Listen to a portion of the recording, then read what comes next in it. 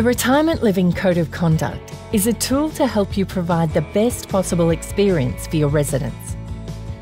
It sets out clear commitments for you to implement at each stage of the customer journey to promote the well-being of every resident.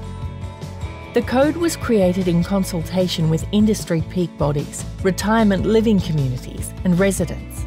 It's a voluntary industry code that in many instances goes beyond what's required by law, putting residents at the heart of everything you do.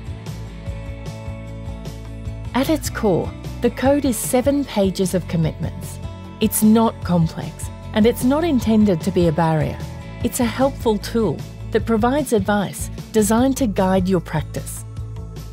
By implementing the code, we aim to promote and protect the interests of current and future residents, help implement regulation in a way that creates high and consistent standards for the marketing, sales, and operation of retirement communities, promote trust and confidence in the retirement living sector, build and develop a framework to enable open, transparent, and efficient resolution of complaints, and provide industry leadership to promote effective self regulation that complements and builds on existing regulatory arrangements.